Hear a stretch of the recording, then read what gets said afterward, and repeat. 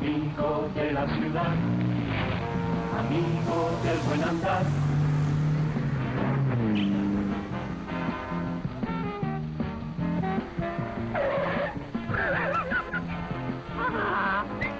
Amigo de los amigos, amigo del mal camino, de las montañas también, de los cuatro